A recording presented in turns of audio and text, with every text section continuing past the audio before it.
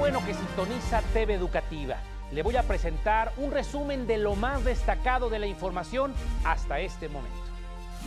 Un vuelo de Egypt Air que cubría la ruta entre París y El Cairo con 66 personas a bordo se estrelló este jueves. Hasta el momento las fuerzas de rescate griegas informaron que se encontraron al sureste de la isla de Cárpatos algunos restos de esta aeronave. El secretario general de la Organización de las Naciones Unidas, Ban Ki-moon, confirmó la designación de la ex canciller mexicana Patricia Espinosa Cantellano como secretaria ejecutiva de la Convención Marco de las Naciones Unidas sobre el Cambio Climático.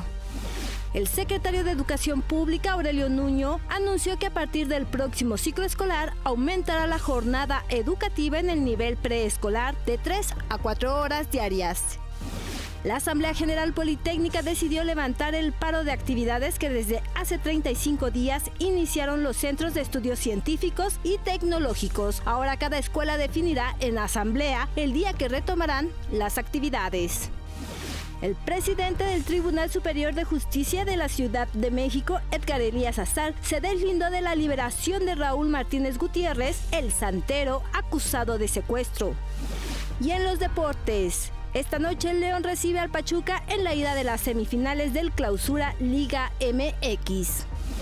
Usted está al día en las noticias, pero lo invito a que hagamos un resumen de la información de toda la jornada en punto de las 21 horas, 9 de la noche, tiempo del centro de la República.